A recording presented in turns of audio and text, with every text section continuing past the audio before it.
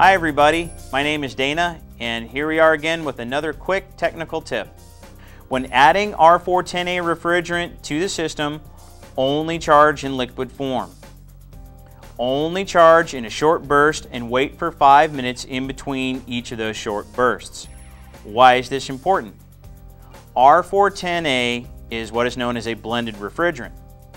If you attempt to charge R410A in vapor form, you can cause what's referred to as fracture of the refrigerant.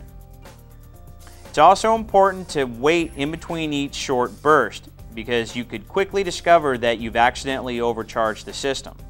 It's much easier to slowly add refrigerant into the system than it is to have to backtrack and take refrigerant out of the system. Thanks for watching. Be sure to keep checking back in. We'll keep supplying you with technical tips.